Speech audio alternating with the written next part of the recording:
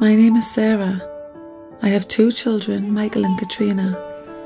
I also have a husband, Andrew, and I love them all. Something happened that made us far from normal. Something that made us apart from the real world. Something that tore deep into our souls. Of course, I never thought I would really have to give my life for them.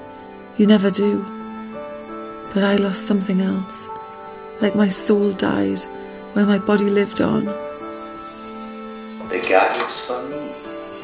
No one will hear you scream. Oh, why will no one believe me?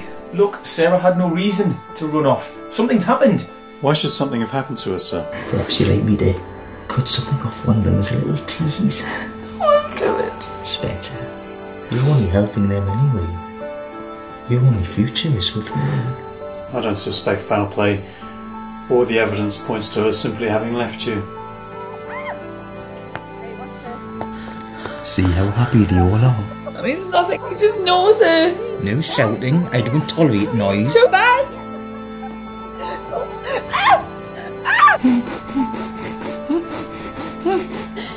you know, I've loved you for ages, don't you, Andrew? And I promise I would never hurt you the way she has. Why are you with her?